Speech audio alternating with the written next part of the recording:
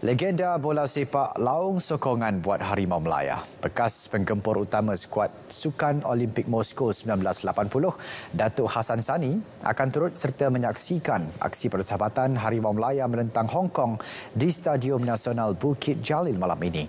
Menerusi hantaran di FB Persatuan Bola Sepak Malaysia FM, Datuk Hassan siang tadi turut melakukan kunjungan hormat terhadap Presiden FM, Datuk Hamidin Haji Muhammad Amin di Wisma FM.